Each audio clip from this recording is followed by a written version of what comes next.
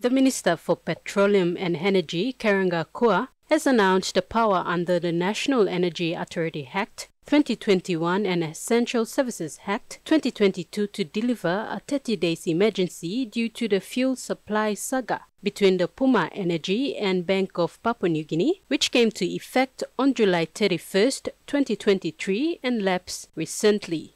Kua said following the declaration, a number of roundtable consultation was discussed as to how to deal with the supply of foreign exchange and fuel supply in the country. Firstly, as you will recall, on the uh, 31st of July, uh, on the advice of the National Security Council and the National Executive Council, we, I announced um, a state of emergency under the provisions of the National Energy Authority Act and under the provision of the Essential Services Act.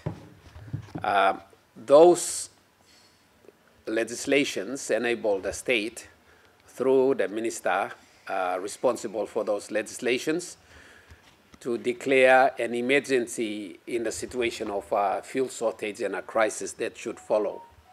And that was what happened in uh, December of 2022 and January and July of 2023, where there was a, a fuel shortage and especially um, refusal by Puma Energy, refusal or inability of Puma Energy to supply jet fuel to our aircrafts. He said the discussion involved two important outcomes, which resulted in good progress where short-term outcomes were achieved. For a series of consultations, we've managed to do two things.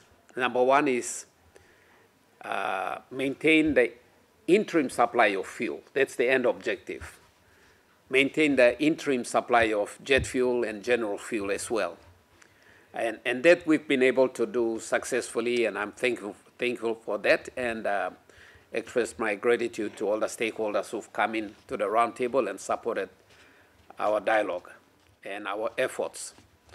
Uh, secondly, we've, we have also had to uh, we've also been able to, uh, with the cooperation of the Bank of Papua New Guinea, maintain an appropriate level of supply of foreign exchange to the licensed banks, Bank of Papua New Guinea to the licensed banks, and from the licensed banks to their customers like Puma Energy.